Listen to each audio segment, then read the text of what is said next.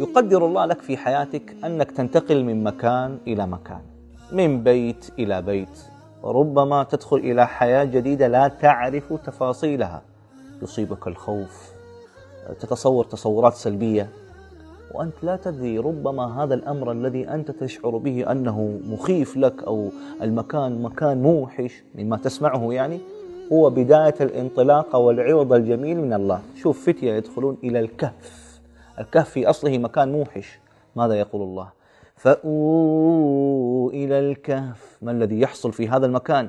ينشر لكم ربكم من رحمته ويهيئ لكم من أمركم مرفقا. يا أخي خليك مع الله ولا تبالي.